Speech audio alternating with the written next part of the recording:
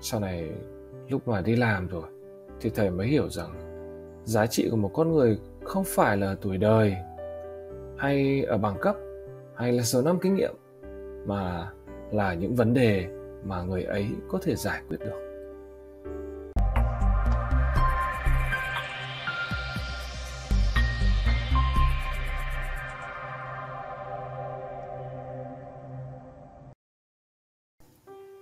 Chào các em, chào mừng các em đến với chuyên mục chuyện kể Allergy của Hoàng Allergy English.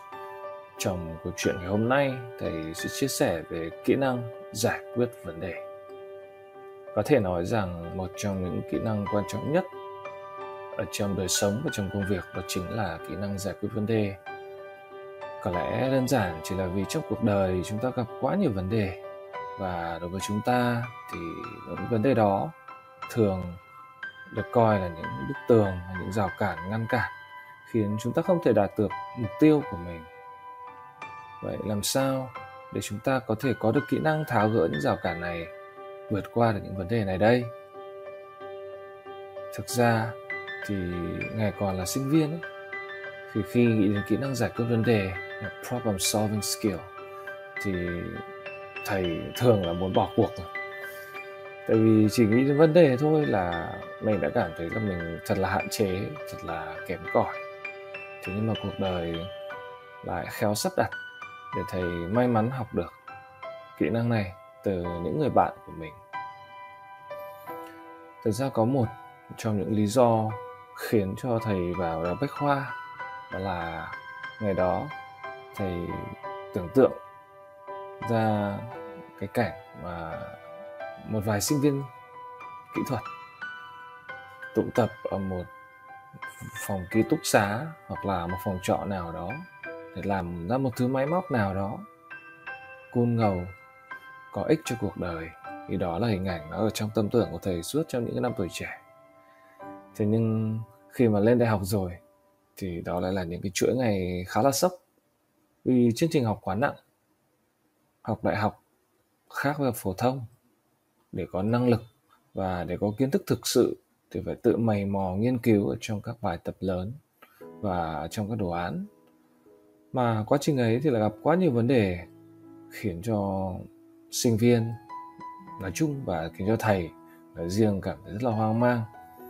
Mỗi lần gặp một cái vấn đề mới là thầy lại cảm thấy mình bị đơ, bị đóng băng, não dừng hoạt động vì mình chưa có thói quen mình chưa có kỹ năng để vượt qua được các vấn đề. Rất là may ngày đó thì thầy lại có anh bạn thân rất giỏi, kỹ năng giải quyết vấn đề. Vấn đề gì gặp phải thì anh cũng mày mò và tìm ra cách giải quyết. Thầy nhớ có lần máy tính của cô bạn gái bị hỏng, thì hai thằng đèo nhau trên chiếc xe máy cả tàng trời thì tối sầm sập, như sắp ập mưa xuống. Có mỗi cái áo mưa giấy, đành nhường cho cái cây máy tính còn người hai thằng thì ướt lướt thướt. Lúc ấy, thầy còn trẻ trâu lãng mạn, linh tinh và tự nhủ, ai đi cùng nhau qua cơn mưa thì chắc tình cảm sẽ bền lâu. Khi về đến nhà trọ thì anh bạn của thầy tháo bỏ máy tính ra và bắt đầu quá trình dò tìm vấn đề. Anh test từng phần, nguồn, bo mạch chủ, mainboard à, CPU, RAM, ổ cứng, tản nhiệt, rắc cắm màn hình, pin, BIOS, à, VGA card, các là cả màn hình, cả âm thanh, sound card, hệ điều hành, virus, phần mềm diệt virus, rồi các phần mềm khác nữa. Thế rồi khi mà kiểm tra hết rồi cuối cùng anh cũng luôn tìm ra được một vấn đề nào đó và khắc phục được. Ngày đấy thầy chỉ đứng nhìn và thầm khâm phục anh bạn vì thấy anh giỏi quá, anh giỏi máy tính quá. Và vì anh ấy giỏi quá rồi cho nên mình cũng không cần phải sờ vào máy tính. Vì đã có cao thủ giải quyết hết rồi. Nhưng mà chính cái việc ngồi quan sát cái cách anh ấy làm có lẽ dần dần cho thầy được sự tự tin hơn để thế mà sau này đi làm, khi gặp các trục trặc về máy tính thì thầy không còn đơ như ngày xưa nữa mà đã biết hướng giải quyết hóa ra là kỹ năng giải quyết vấn đề ở đây chỉ là test chỉ là thử thử nghiệm kiểm tra từng phần từng phần. Anh bạn của thầy là dân chuyên tin từng đạt giải học sinh giỏi quốc gia nên các vấn đề về máy tính từ phần cứng phần mềm hay cho tới các thủ thuật chuyên dụng thì đã là điều rất là quen thuộc như ở trong lòng bàn tay của anh. Những năm tháng cấp 2, cấp 3 thì anh ấy đã sống xa nhà cho nên luôn luôn phải tự lập, tự lo cho mình, tự giải quyết hết tất cả các vấn đề. Để chính hoàn cảnh ấy lại giúp anh ấy có nhiều điều kiện để thực hành kỹ năng giải quyết vấn đề của mình. Có lẽ chìa khóa ở đây là mình phải chủ động thực hành, giải quyết vấn đề. Anh bạn của thầy cũng có một thói quen là cứ thấy bạn bè gặp vấn đề gì là sắn tay vào tìm cách để giải quyết. Sau này lúc mà đi làm rồi, thì thầy mới hiểu rằng giá trị của một con người không phải là tuổi đời, hay ở bằng cấp, hay là số năm kinh nghiệm, mà là những vấn đề mà người ấy có thể giải quyết được. Thế nên những người thành công thường trông có vẻ tự tin và họ thường giữ được tâm lý bình thản khi đối diện với vấn đề, dù là vấn đề mới hay là vấn đề cũ. Có lẽ bởi vì khi con người ta gặp những vấn đề trong phạm vi hiểu biết của mình, thường thì ta có thể phân tích được các thành phần, rồi tiến hành kiểm tra từng phần xem lỗi ở đâu để khắc phục. Cảm giác khi giải quyết được các vấn đề sẽ khiến ta tự tin hơn và cảm thấy mọi chuyện trong tầm kiểm soát. Nên không có gì phải hốt hoảng khi gặp vấn đề, dù là mới hay là cũ cả. Mình cứ thử nghiệm, kiểm tra từng phần thế nhưng mà có những khi vấn đề vượt quá tầm hiểu biết của chúng ta thì sao? Nếu ta để ý thì ta sẽ thấy rằng ta gặp những vấn đề này ngay từ những năm tháng tuổi trẻ. Thời sinh viên nhóm của thầy lên tình nguyện lên à, bộ môn của trung tâm lên khoa khoa của trường. À, tình nguyện làm mạch thí nghiệm cho văn phòng bộ môn của trường thầy giáo giao việc lại vào đúng dịp cả Hà Nội được nghỉ nhân dịp hội nghị ASEAN 5 để đảm bảo an toàn. Thế là cả kỳ nghỉ, thay vì các bạn được nghỉ đi chơi và về quê thì cả hội lại hì hà hì hục dành cho việc nấu nối mạch điện, mạch điện tử. Người ta bảo, ai đó mà dành thời gian nghỉ ngơi, thư giãn của mình cho một hoạt động nào đó thì họ chắc hẳn sẽ có được những phần thưởng như mơ thế là cả hội cũng hoàn thành được công việc và cũng ghi được điểm trong mắt thầy giáo. Và kết quả tuyệt vời là được thầy ra cho một bộ kit chip thế hệ mới ngày đó à, CPLD FPGA ngày đó. Tôi nhớ nó là con Xilinx à, XC9500 XL à, nhớ mang máng như vậy cũng lâu năm rồi. Thời đó thì thầy có ông anh của người bạn thân học cùng ngành tự động hóa ở bên Pháp thì thấy họ cũng đang học cái đó cũng đang nghiên cứu cái đó. Tức là với cái bộ kit đó thì mình đang có cơ hội được bắt nhịp với thế giới. Nhưng mà công nghệ mới quá nên thầy giáo của thầy cũng không biết gì cả. Không biết gì về nó cả. Thầy chỉ đưa cho cái kit bảo uh, về tự nghiên cứu đi. Tự nghiên cứu ứng dụng rồi lên báo cáo định kỳ. Bốn thằng mừng quính vì được thực tập chuyên môn thì được có cơ hội, có thiết bị để luyện tập. Thế nhưng mà thầy thì hốt hoảng, lo lắng vì không biết bắt đầu từ đâu, không biết phải làm thế nào. Cái kit như là một hố đen chứa đựng bao nhiêu điều, toàn là những điều mình chưa biết. Thế nhưng mà nhìn sang thấy các bạn mình đang vui và thấy có anh bạn cao thủ cho nên thầy cũng yên tâm. Thì thầy nghĩ rằng chắc là anh bạn mình cũng sẽ có cách để giải quyết vấn đề đấy đó. Khi mà ta có năng lực giải quyết vấn đề ta có thể làm cho những người xung quanh hạnh phúc và yên tâm cho dù đôi khi ta không biết điều đó. Thế là cả hội chụm đầu vào bàn bạc thảo luận xem nên làm gì trước.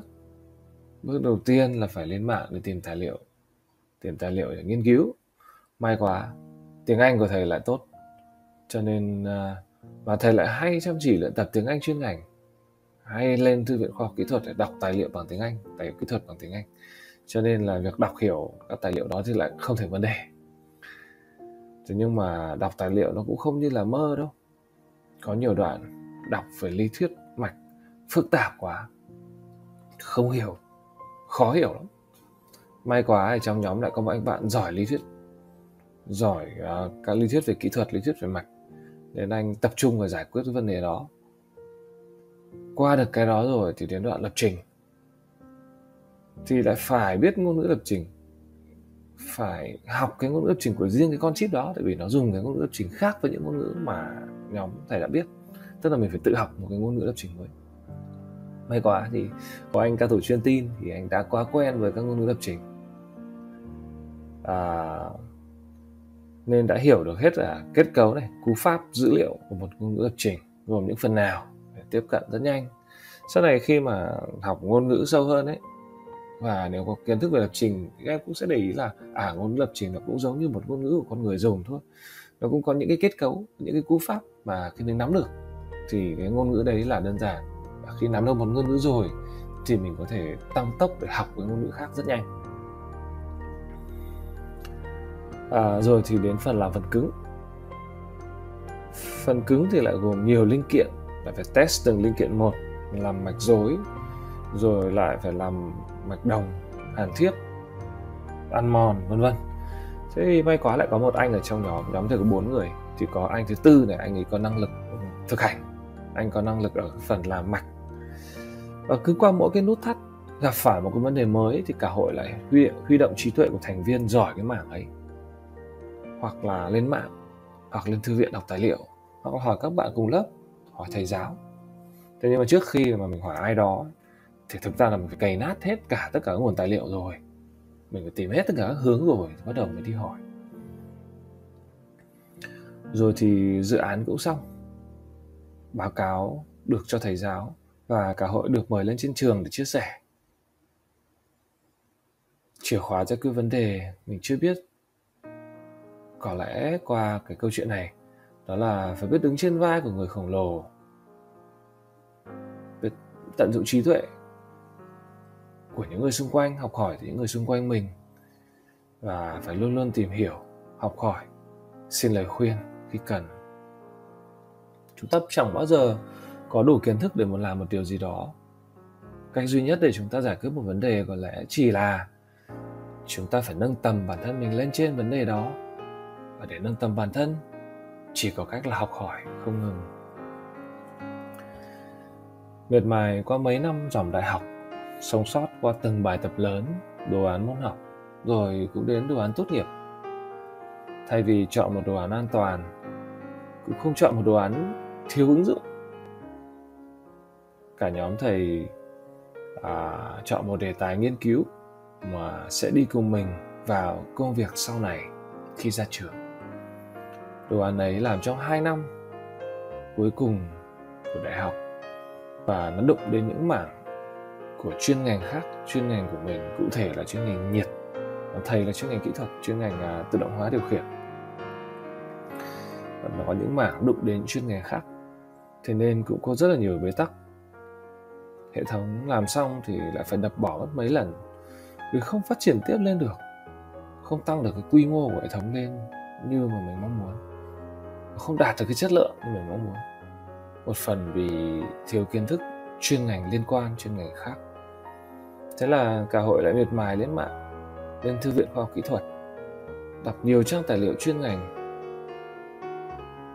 đọc nhiều trang tài liệu chuyên ngành mới và tự đọc lấy về chuyên ngành liên quan đồ án của mình mà mình chưa biết. Phải đọc về quá trình nhiệt, quá trình nhiệt động lực học của tua bin tài liệu thì toàn bằng tiếng anh cả. May mà có tài liệu tiếng anh đấy. Chứ nếu mà chỉ có tài liệu tiếng nga thì thôi, chắc là chịu. Tại vì nhóm của thầy không biết tiếng nga. Nhưng rồi đọc mãi đọc mãi. Vẫn chưa làm ra được kết quả mà mình mong muốn. Đó là những ngày dài, dành cả ngày, hoặc là nửa ngày ở trên trung tâm nghiên cứu của trường. Có lẽ có lẽ đó là những ngày tháng rất là tuyệt vời và đã đời. Dù dù chưa biết là nỗ lực của mình có đi đến đâu hay không. Thế nhưng mà từng ngày từng ngày, bằng cách tháo gỡ, bằng cách tìm mọi hướng để giải quyết vấn đề, thì cho dù chưa tìm ra được lời giải, thì nhóm của thầy cũng đụng vào và cũng mở mang thêm được rất nhiều rất nhiều khía cạnh. Đôi khi một vấn đề đến với chúng ta. Là một gợi ý để trong quá trình đi tìm lời giải, chúng ta có thể vô tình vô tình được trải nghiệm, được hiểu biết thêm rất nhiều điều về những vấn đề khác. Thế rồi nhóm của thầy cứ làm thôi. Cứ ngày ngày nghiên cứu như vậy, Sức trẻ mà. Tuổi trẻ mình làm gì có gì? Ngoài sự nhiệt tình, Tuổi trẻ không có nhiều trí tuệ.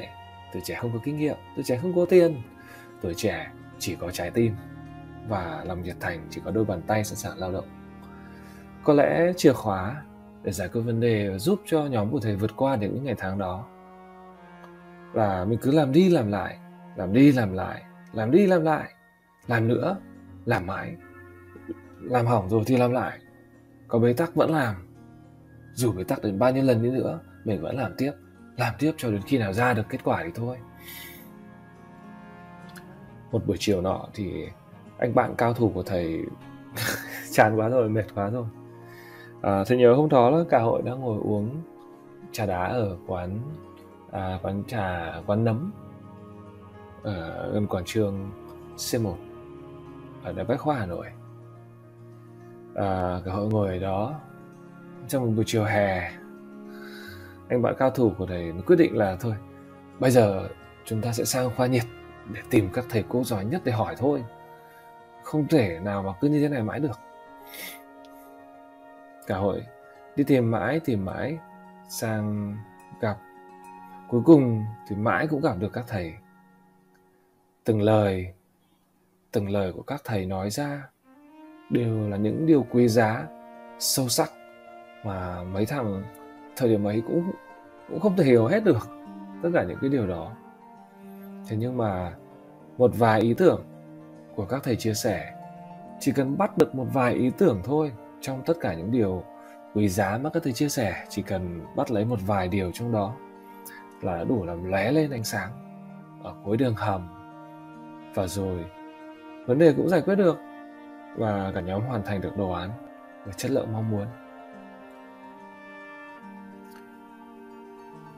When we seek, we will find. Sẽ luôn có giải pháp cho mọi vấn đề trong cuộc sống.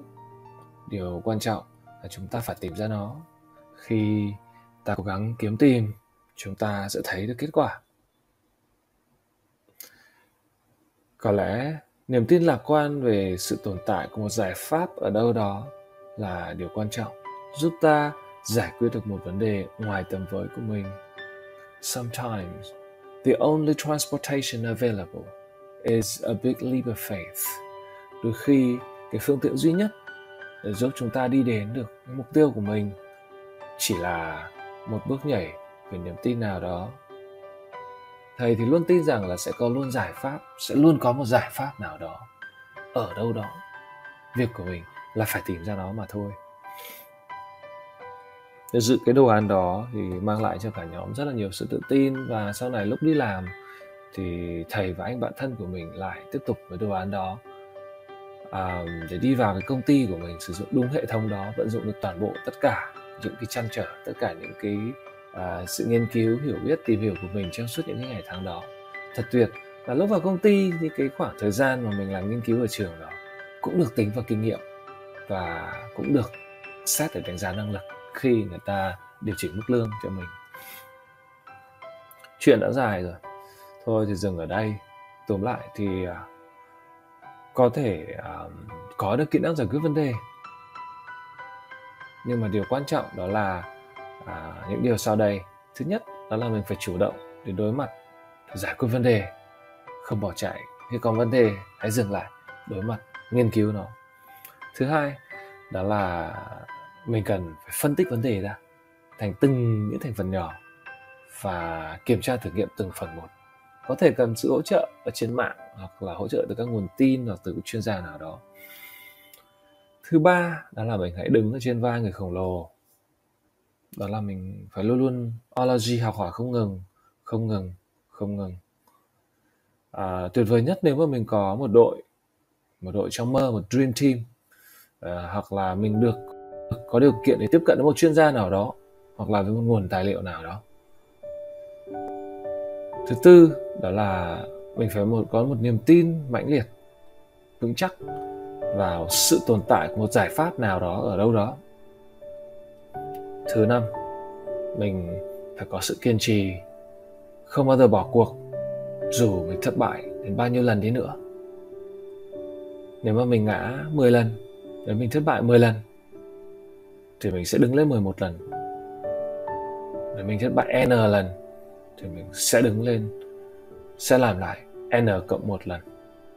Bằng cách tư duy như vậy thì chẳng có vấn đề nào có thể làm khó được chúng ta cả. Sau này khi tốt nghiệp và ra trường rồi, thì thầy với anh bạn của thầy vẫn tiếp tục đi làm cùng nhau ở công ty mới, ở trong những dự án mới. Nhưng cuộc sống không như là mơ và bắt đầu đẩy thầy ra xa anh bạn của mình. Nhất là khoảng thời gian ở Seoul, Hàn Quốc, khi ấy không còn anh bạn là chỗ dựa nữa. Thành ra, lúc này thầy phải tự mình vượt qua các vấn đề. Đó là những khoảng thời gian khó khăn. Thế nhưng mà thật may mắn rằng những cái trải nghiệm tích lũy và học hỏi được từ anh bạn của mình trong suốt thời sinh viên và trong năm đầu đi làm đã giúp thầy tự mình đứng vững qua được những cái vấn đề đó. Để rồi sau này khi về nước khởi nghiệp, gặp vô vàn vấn đề liên tục từ ngày đó cho tới tận bây giờ, thời điểm bây giờ là năm 2021 Covid mùa thứ tư rồi. Cho tận bây giờ rất là nhiều vấn đề gặp phải. Thì rồi thì cũng từng bước từng bước vượt qua được. Xét cho cùng, khi có kỹ năng giải quyết vấn đề rồi, thì mình sẽ có thể tự lo liệu được, có thể tự lo liệu được cho cuộc sống của mình sau này. Cuộc đời sẽ có lúc nào đó mang tới cho mình những anh bạn tuyệt vời.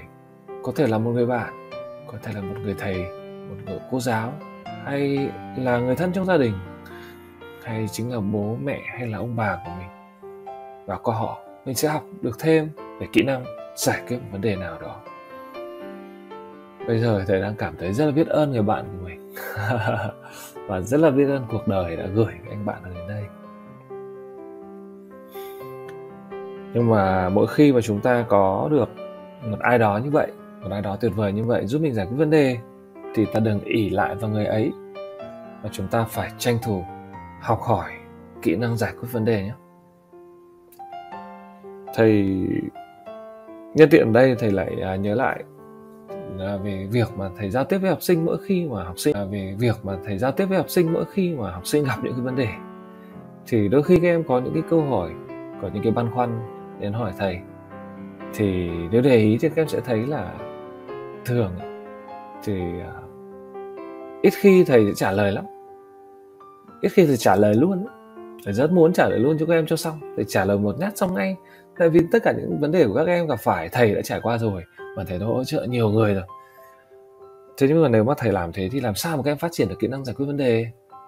Dù là nhân viên hay là đồng nghiệp, mỗi khi đặt câu hỏi với thầy, thì bao giờ thầy cũng phải dừng lại một bước và làm thế nào để dùng cái trải nghiệm đó để giúp cái người kia họ phát triển kỹ năng giải quyết vấn đề ở đây? Đó mới là điều quan trọng tại vì chúng ta không thể ở bên ai đó cả đời được, giống như anh bạn của thầy. Không thể ở bên cạnh và giúp thầy giải quyết vấn đề mãi được. Chúng ta phải đi trên đôi chân mình. Do đó những khi ấy thầy thường hỏi lại, ngược lại. Thì em nghĩ như thế nào? Thì em nghĩ như thế nào? Em đã cố gắng thế nào rồi? Em đã làm được gì rồi? Và bây giờ thì em mắc ở đâu? Đó. Thì nhiều khi thì khi mà thầy hỏi lại như vậy, và các bạn cứ trình bày rành rọt là em làm được đến đây rồi, em cố gắng thế kia, em em mắc ở chỗ này và khi nói xong rồi, một cách rõ ràng, thì nhiều bạn lại, ơ, nhìn ra được vấn đề ngay lập tức và không cần phải hỏi thầy nữa. Đó là điều mà thầy đã trải nghiệm. Hoặc là khi mà mình nói ra rõ ràng như vậy rồi, thì thầy biết là à bức tranh nó rõ ràng rồi. Bạn ấy mắc cụ thể ở đâu thầy chỉ cần nói một câu thôi là xong. Là bạn giải quyết vấn đề rất là nhanh chóng. Đó, thì một kỹ năng để cho các em giải quyết vấn đề, đó là hãy mô tả vấn đề của mình một cách kỹ càng có thể là các em may mắn gặp được một chuyên gia để các em trình bày vấn đề. Và nếu không có một chuyên gia, các em có thể hãy trình bày nó lại với đồng đội của mình, hoặc là với một người bạn thân hay với gấu của mình lúc rảnh. Mình mô tả lại vấn đề. Đừng có coi, mình mô tả lại vấn đề. Đừng có coi thường nhé đừng có coi thường gấu hay là những người thân là bảo họ không hiểu gì không, lúc đấy mình đang chia sẻ để một là họ hiểu mình hơn, hai là chính mình đang tả lại cái vấn đề đấy một lần nữa. Và trong quá trình đấy, có thể mình sẽ nhìn ra được chìa khóa giải quyết vấn đề và nhớ không bao giờ được đặt một câu hỏi về giải pháp mà mình chưa nỗ lực chưa nỗ lực hết năng lực của bản thân mình để tìm ra giải pháp. Ta phải cố gắng trước đã. Cố gắng 100, 200, 300 phần trăm công sức đã. Rồi ta mới tìm đến chuyên gia. Phải như vậy chúng ta mới phát triển được. Còn nếu vừa gặp khó khăn đã đi hỏi ngay không bao giờ não của chúng ta phát triển được. Ok có lẽ thầy dừng ở đây thôi. À, qua năm tháng thì dần dần thì các em sẽ à, cuộc đời sẽ đẩy các em vào những cái hoàn cảnh mà các em phải giải quyết vấn đề thôi. Thế nhưng mà đừng lo Ology English chuyên mục chuyện kể Ology